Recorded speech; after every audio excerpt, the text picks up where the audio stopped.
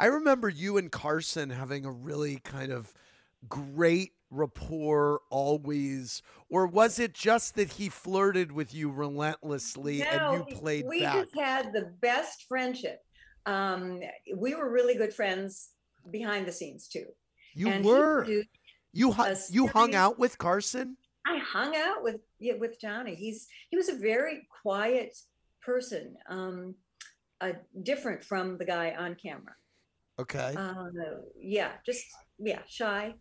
And and and, and um, did you have dinners with him or what would you Oh, do with him yeah, and did. Uh, you know, there was a time we talked about going out.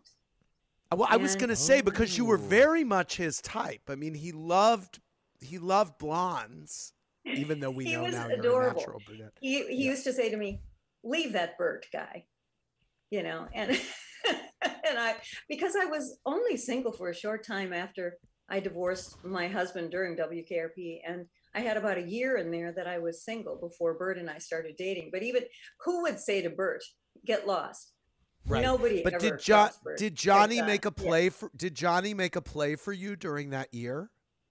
he did, and uh, but he and Burt were really really close, you know. So And did and did you Consummate. and and and when he made the play, what was your reaction to it?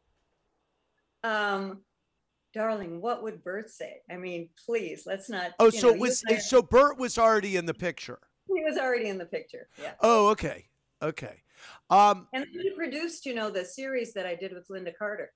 Johnny Carson produced uh, Partners in Oh, Crime. I didn't know that. Oh, I didn't know that. Yeah. I didn't know that. And I have Now- to tell you, this is how good a friend he was. My mother was dying of cancer, and I was doing uh, that Partners in Crime series in San Francisco with Lynda Carter. And I Yeah. needed to come back to LA on the weekends to be with my mom. And I couldn't make the last plane on Friday night because we shot until two in the morning. And Yeah. I was getting exhausted. And um, I just was losing it. And Johnny said, You know what? I, I'm going to send you my plane. So on Wow. Friday night, Johnny's private jet was waiting at the airport in San Francisco for whenever we finished to fly me Wow. be back to LA so I could be with my mom at the end of her life. That's that's incredible. Wow.